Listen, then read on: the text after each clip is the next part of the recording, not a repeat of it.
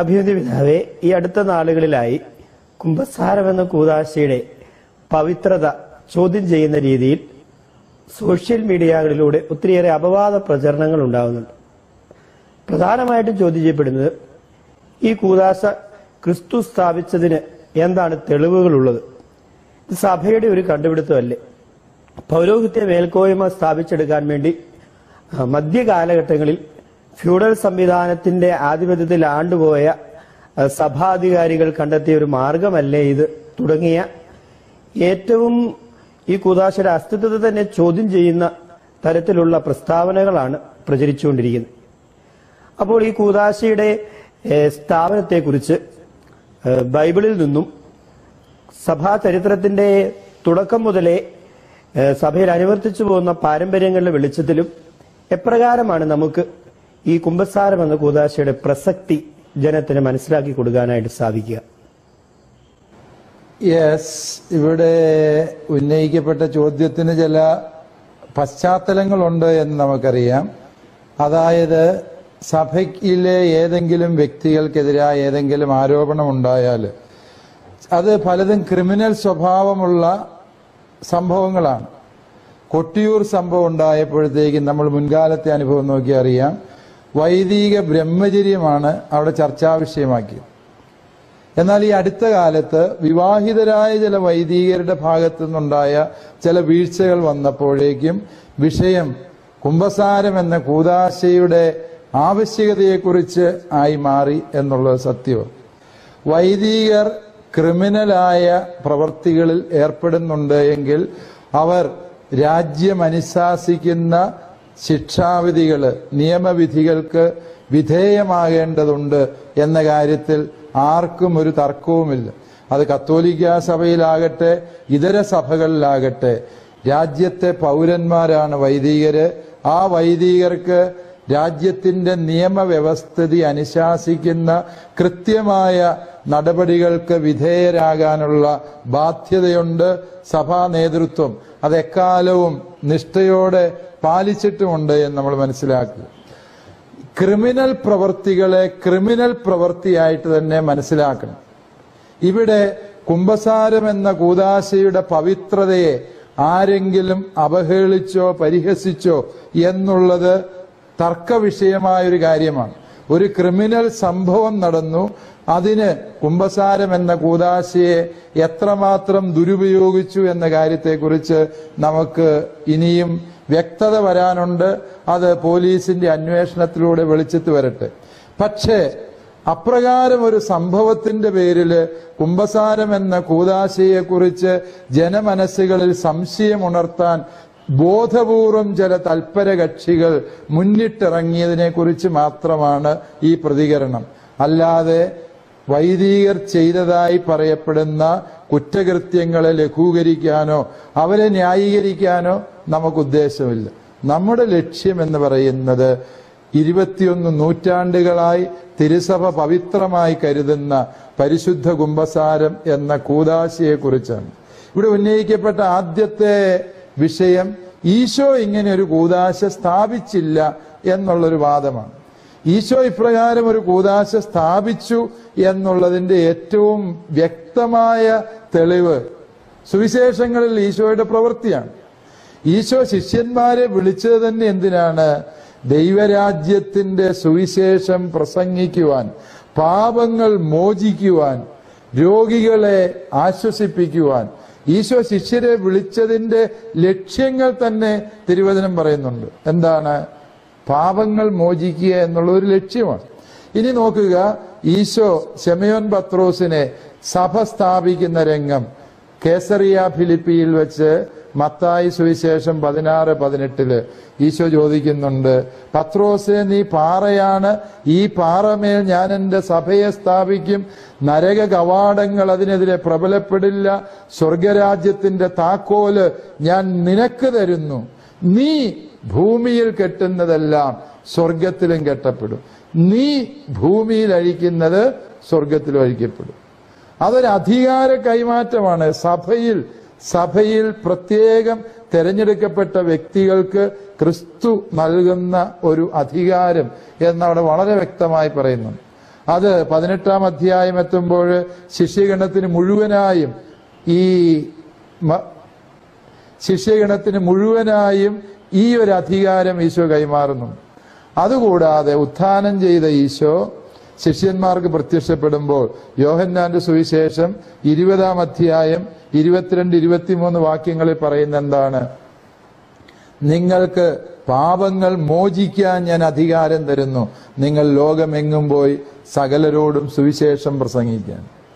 പാപം മോചിക്കാനുള്ള അധികാരം ക്രിസ്തു തന്റെ ശിഷ്യർക്ക് വളരെ വ്യക്തമായി നൽകുന്നു എന്ന് സ്പഷ്ടമായി നമ്മൾ മനസ്സിലാക്കുന്നു. ദൈവരാജ്യത്തിന്റെ ശുശ്രൂഷയിലെ പരമപ്രധാനമായ ഒരു കാര്യം നരകപിശാചായ സാത്താൻ ഈ ലോകത്ത് തീർക്കാൻ ആഗ്രഹിക്കുന്ന പാപത്തിന്റെ സംസ്കാരത്തെ ഇല്ലായ്മ ചെയ്യുക എന്നുള്ളതാണ്.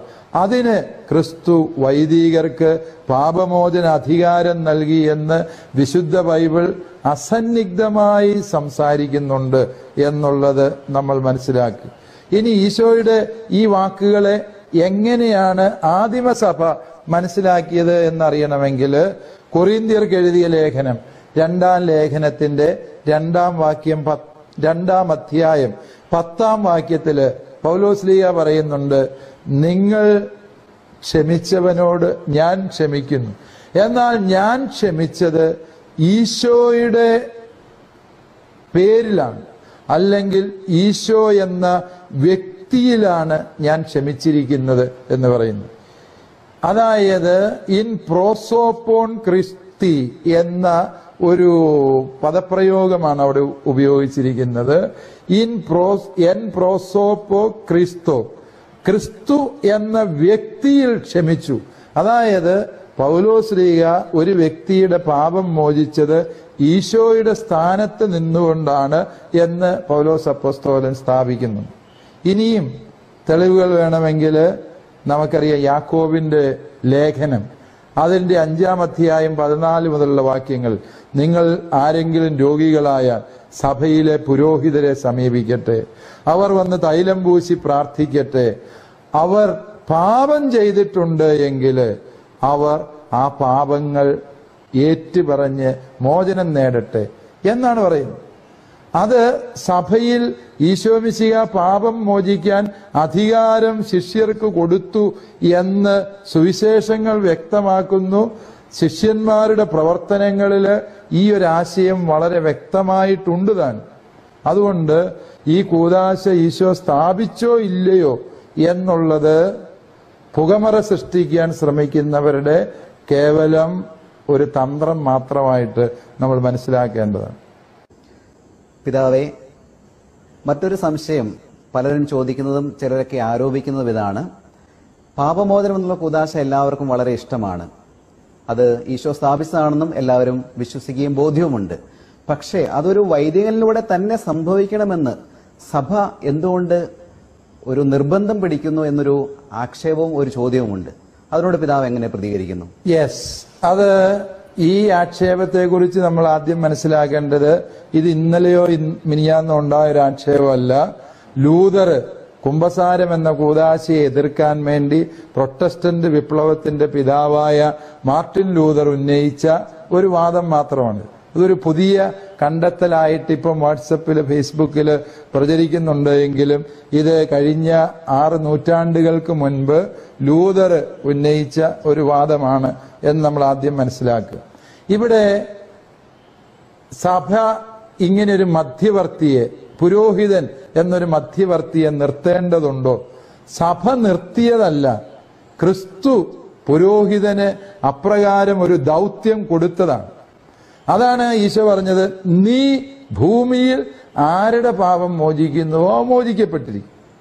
ഇത് ഈ പാപമോചനത്തെ എങ്ങനെയാണ് ആദിമസഭ മനസ്സിലാക്കിയിരുന്നത് എന്നറിയണമെങ്കിൽ ഈ വിശുദ്ധ ഇഗ്നേഷ്യസിന്റെ രചനകൾ ദിദാസ്കാലിയ അപ്പസ്തലോരും ദിദാസ്കാലിയ അപ്പസ്തലോരും എന്ന ഗ്രന്ഥത്തിൽ അത് രണ്ടാം നൂറ്റാണ്ടിൽ ഒരു കൃതിയാണെന്ന് വിചാരിക്കും മനസ്സിലാക്കണം. അതിൽ എഴുതിയിരിക്കുന്ന ഇതാണ് മെത്രാന്മാർക്കുള്ള ഉപദേശമാണ്.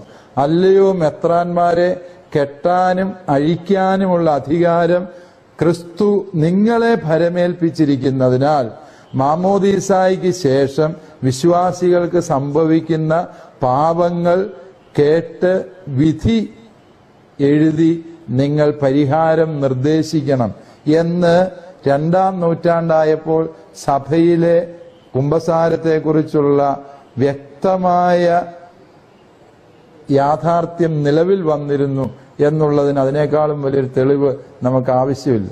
അതുകൊണ്ട് മധ്യവർത്തിയെ സഭ നിയോഗിച്ചു എന്നുള്ളതല്ല ക്രിസ്തു സഭയെയാണ് ദൈവത്തിനും മനുഷ്യനും മധ്യവർത്തിയായി നിയമിച്ചത് സഭയെയാണ്.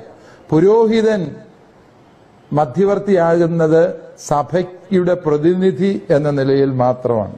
അതുകൊണ്ട് മനുഷ്യന്റെ രക്ഷയ്ക്ക് വേണ്ടിയുള്ള ദൈവീക പദ്ധതിയിൽ ഈ തിരുസഭയുടെ മാധ്യസ്ഥമാണ് കുംഭസാരം എന്ന കൂതാശയിൽ വൈദികനിലൂടെ സംഭവിക്കുന്നത് എന്ന് തിരിച്ചറിയുന്നതാണ് ശരിയായ ദൈവശാസ്ത്ര ചിന്ത എന്ന് ഞാൻ വിചാരിക്കുന്നു.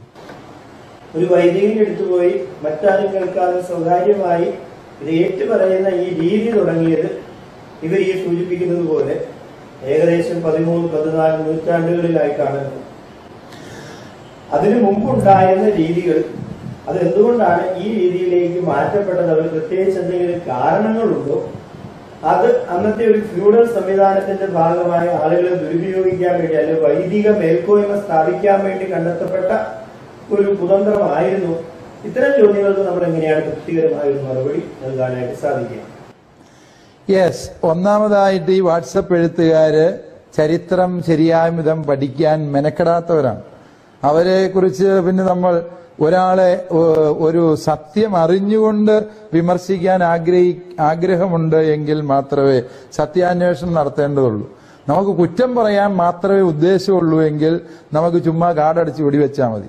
ആയിരത്തി ഇരുന്നൂറ്റി നാൽപ്പത്തി ആറിൽ ലാറ്ററൻ സൂനകദോസാണ് കുംഭസാരം എന്ന കൂതാശ കണ്ടുപിടിച്ചത് എന്ന് പറയുന്നുവെങ്കിൽ അപാരമായ തൊലിക്കെട്ടി ആവശ്യമുണ്ട് കുംഭസാരം എന്ന കൂതാശയെ ഇപ്രകാരം ഈ തിരുസഭയുടെ അഞ്ച് കൽപ്പനകളുടെ ഭാഗമാക്കി നിയമമാക്കി മാറ്റിയത് ലാറ്ററൻ സൂനകദോസാണ്. അത് ലാറ്ററൻ സൂനകദോസ് ചെയ്ത കാര്യം. ഇപ്പൊ ഉദാഹരണം പറഞ്ഞാൽ ഇന്ത്യൻ പീനൽ കോഡ് നിലവിൽ വന്നത് ആയിരത്തി എണ്ണൂറ്റി മുപ്പതിലാണ് എന്നത് ചരിത്രത്തിൽ നമുക്കറിയാം. ഇന്ത്യൻ പീനൽ കോഡിൽ പറയുന്നുണ്ട് കൊലപാതകം ഇന്ന ശിക്ഷയ്ക്ക് അർഹമാണ് കൊലപാതകം തെറ്റാണ് കൊലപാതകം ശിക്ഷാർഹമാണ്. ഇന്ത്യൻ പീനൽ കോഡിൽ അത് എഴുതി വയ്ക്കുന്നതിന് മുമ്പ് ഇന്ത്യയിൽ കൊലപാതകം ഇല്ലായിരുന്നുവെന്നോ കൊലപാതകം നിയമവിധേയമായിരുന്നുവെന്നോ നമുക്ക് ഊഹിക്കാൻ പറ്റുമോ? ഇല്ല. ആ യുക്തി നിങ്ങൾക്ക് മനസ്സിലാവുമെന്ന് ഞാൻ വിചാരിക്കുന്നു. അതായത് ഒരു കാര്യം ഒരു നൈയാമികതയുടെ ഭാഗമായി രേഖപ്പെടുത്തുന്നു എന്നുള്ളത് നാലാം ലാറ്ററൻ സൂനകദോസിൽ സംഭവിക്കുന്ന കാര്യമാണ്. പക്ഷെ അതിന്റെ അർത്ഥം കുംഭസാരം എന്ന കൂതാശ സഭയുടെ ആരംഭം മുതൽ ഉണ്ടായിരുന്നു എന്ന സത്യത്തെ നിഷേധിക്കാൻ ആ ഒരു നൈയാമിക ഇടപെടൽ ഒരിക്കലും തെളിവായി സ്വീകരിക്കാൻ പാടില്ല എന്ന് തന്നെയാണ്. നമുക്കറിയാം ഇവിടെ ചോദിച്ചതുപോലെ ഒരു വൈദികന്റെ അടുക്കൽ പോയി രഹസ്യ കുംഭസാരം നടത്തുന്ന പതിവ് പൗരസ്ത്യ സഭകളിലാണ് ആരംഭിച്ചത്. പിന്നീട് ഏഴാം നൂറ്റാണ്ടിന്റെ ആരംഭത്തോടുകൂടി ഒരു അറുന്നൂറ്റി ഇരുപത് അറുന്നൂറ്റി മുപ്പത് കാലഘട്ടങ്ങളിൽ ഐറിഷ് മിഷണറിമാര് അയർലൻഡിൽ നിന്നുള്ള മിഷണറിമാരാണ് ഈ രഹസ്യ കുംഭസാരം എന്ന ആശയം പ്രചരിപ്പിച്ചത്. അതുവരെയും കുംഭസാരം എങ്ങനെയായിരുന്നു എന്നുള്ളതാണ് നമ്മൾ അന്വേഷിക്കേണ്ടത്. അതുവരെയും കുംഭസാരം എന്ന് പറയുന്നത് വൈദികൻ അല്ലെങ്കിൽ മെത്രാൻ അധ്യക്ഷനായിരിക്കുന്ന സഭാ സമൂഹത്തിന്റെ മുമ്പിൽ വന്ന് വിശ്വാസികൾ അവരുടെ പാപം പരസ്യമായി വിളിച്ചു പറയണമായിരുന്നു ഈ നടപടിക്രമം പല പ്രതിസന്ധികൾക്കും കാരണമായി. ചില വിശ്വാസികൾ ഇവരുടെ പാപത്തെ പ്രതി ഇവരെ പരിഹസിക്കാനും ഈ പാപാവസ്ഥയിൽ അവരെ ദുരുപയോഗിക്കാൻ തുനിയുകയും ചെയ്തപ്പോൾ ഇത് ചില പ്രതിസന്ധികൾ സഭാ സമൂഹത്തിൽ രൂപപ്പെടുന്നു എന്ന് കണ്ടപ്പോഴാണ് സഭ അത് വൈദികന്റെ അടുക്കൽ മാത്രം പറഞ്ഞാൽ മതി. നമ്മൾ മനസ്സിലാക്കുക ഒന്നും രണ്ടും മൂന്നും നൂറ്റാണ്ടുകളിൽ ഈ പാപം ഏറ്റുപറയുന്നത് വൈദികന്റെ മുമ്പിൽ തന്നെയാണ്. പക്ഷെ അതിന് ദൈവജനം സാക്ഷിയായിരുന്നു എന്ന വ്യത്യാസം മാത്രമേ ഉള്ളൂ. ആ സാക്ഷികളുടെ സാന്നിധ്യം ഒഴിവാക്കി എന്നുള്ളതാണ് രഹസ്യ കുംഭസാരത്തിൽ സംഭവിച്ചത്. ആദ്യകാലത്തും പാപം കേട്ടതും അതേക്കുറിച്ച് തീർപ്പ് കൽപ്പിച്ചതും അതിന് പരിഹാരം നിർദ്ദേശിച്ചതും പാപമോചനം നൽകിയിരുന്നതും ഈ സഭാ സമൂഹത്തിന്റെ അധ്യക്ഷ പദവി അലങ്കരിച്ചിരുന്ന വൈദികനോ മെത്രാനോ ആയിരുന്നു എന്നത് വ്യക്തമാണ്. ലാറ്ററൻ സൂനകദോസിന്റെ കാനോന പഠിക്കാൻ കാണിച്ച തീഷ്ണത നിഖ്യ സൂനകദോസിന്റെ കാനോന പഠിക്കാൻ വേണ്ടി കാണിച്ചിരുന്നെങ്കിൽ നിഖ്യ സൂനകദോസിന്റെ പതിമൂന്നാമത്തെ കാനോന അത് കുംഭസാരത്തെ കുറിച്ചാണ് മെത്രാന്മാർക്ക് കൊടുക്കുന്ന ഉപദേശത്തിൽ വളരെ വ്യക്തമായി കുംഭസാരം എന്ന കൂതാശ എങ്ങനെയാണ് പരികർമ്മം ചെയ്യേണ്ടത് എന്ന് നിഖ്യായിൽ മുന്നൂറ്റി ഇരുപത്തിയഞ്ചാം ആണ്ടിൽ കൂടിയ സൂനകദോസിന്റെ കാനോനയിൽ ഉണ്ടായിരുന്നു എന്നത് സത്യാന്വേഷണം നടത്തിയാലെന്നേ മനസ്സിലാകുമായിരുന്നു. അതില്ലാത്ത വ്യക്തികളാണ് നാലാം ലാറ്ററൻ സൂനകദോസ് എന്ന് ആവേശപൂർവം ഇവിടെ കാര്യങ്ങൾ അവതരിപ്പിക്കാൻ ശ്രമിക്കുന്നത്. വീണ്ടും ലയോ ഒന്നാമൻ മാർപ്പാപ്പ നാനൂറ്റി അൻപത്തി ഒൻപതാമത്തെ ആണ്ടിൽ ഇറക്കിയ ഒരു കൽപ്പനയുണ്ട്. മാഞ്ഞ ഇന്ദിഗ്നാസിയോനെ എന്ന് പറയുന്ന ഈ കൽപ്പനയിൽ കുംഭസാരത്തിന്റെ നടപടിക്രമങ്ങൾ വളരെ വ്യക്തമായി വിശദീകരിക്കുന്നുണ്ട്. ഇനി ഇതിനും മുൻപുള്ള രചനകളുണ്ട്.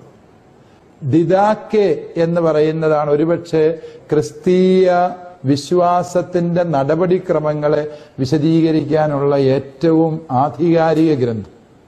ഈ ഡിഡാക്കയിൽ കുംഭസാരം എന്ന കൂതാശ പരികർമ്മം ചെയ്യേണ്ടത് എങ്ങനെ എന്നുള്ള നടപടിക്രമം വളരെ വിശദമായി അതിന്റെ പതിമൂന്നാം അധ്യായത്തിൽ വിശദീകരിക്കുന്നുണ്ട്. ഡിഡാക്കെ എഴുതപ്പെടുന്നത് നൂറ്റി മുപ്പതിനും നൂറ്റി നാൽപ്പതിനും ഇടയിലായിരുന്നു എന്നുകൂടി നമ്മൾ ചിന്തിക്കണം. അതായത് കുംഭസാരം എന്ന കൂതാശയ്ക്ക് തിരുസഭയോളം പഴക്കമുണ്ട് തിരുസഭയുടെ വിശ്വാസത്തോളം ആഴം ഈ കൂതാശയ്ക്കുണ്ട് എന്നുള്ള സത്യം മറച്ചു വെച്ചുകൊണ്ടാണ് ഇത്തരത്തിൽ പതിമൂന്നാം നൂറ്റാണ്ടിൽ ഫ്യൂഡൽ വ്യവസ്ഥിതി വീണ്ടെടുക്കാൻ വേണ്ടി സഭ കണ്ടുപിടിച്ചൊരു തന്ത്രമാണ് കുംഭസാരം എന്ന കൂതാശ എന്ന ഒരു വാദമുഖം ഇവിടെ ഉയർത്തപ്പെടുന്നു. പിതാവേ കുംഭസാരം എന്നുള്ള കൂതാശ വളരെ വിശ്വാസ്യത മനുഷ്യരുടെ മനസ്സിൽ ഉളവാക്കുന്ന വിശ്വാസ്യത ആവശ്യപ്പെടുന്ന ഒരു കൂതാശയാണല്ലോ. ചില മനുഷ്യരെങ്കിലും ഇത് പരികർമ്മം ചെയ്യുന്ന വൈദികന്റെ ക്രെഡിബിലിറ്റി വിശ്വാസ്യത വിശുദ്ധി ഇവയുമായി താരതമ്യം ചെയ്യാറുണ്ട്. എന്ന് പറഞ്ഞാൽ വിശുദ്ധിയില്ലാതെ ഒരു വൈദികൻ ഇത് പരികർമ്മം ചെയ്യുകയാണെങ്കിൽ അതിന്റെ ഫലം ലഭിക്കുമോ എന്നൊരു ചോദ്യം പലരുടെയും മനസ്സിലുണ്ടാകാറുണ്ട്. പിതാവ് അതിനോട് എങ്ങനെ പ്രതികരിക്കുന്നു? തീർച്ചയായും കുംഭസാരക്കൂടിൽ ഇരിക്കുന്ന വൈദികന് ഒരു പാപവുമില്ലാത്ത മാലാഖയാണ് എന്നൊന്നും സഭ പറയുന്നില്ല. പക്ഷേ കുമ്പസാരക്കൂടിന്റെ പരിശുദ്ധി കുംഭസാരക്കാരന്റെ പരിശുദ്ധി എന്നുള്ളത് ആ വ്യക്തി സ്വന്തമായി വളർത്തിയെടുക്കേണ്ട ആർജിച്ചെടുക്കേണ്ട മൂല്യവും പുണ്യവുമാണ്.